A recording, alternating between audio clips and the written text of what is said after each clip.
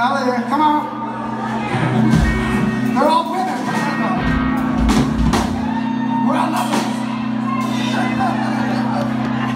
That's women.